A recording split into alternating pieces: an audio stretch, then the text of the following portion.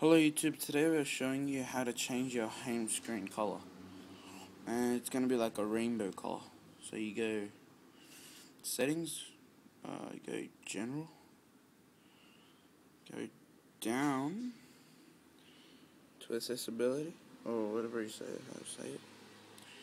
And then there's different options, you go into vision, go to invert colors, you turn on the invert invert colors. And then your settings is just orange and black and stuff. And then once you open your home screen iTunes is green App Store is orange. And then once you go to like a game let's say tapped out.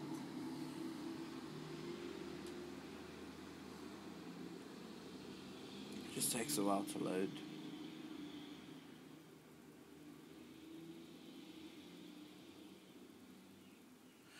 Okay, here we go. This is my world.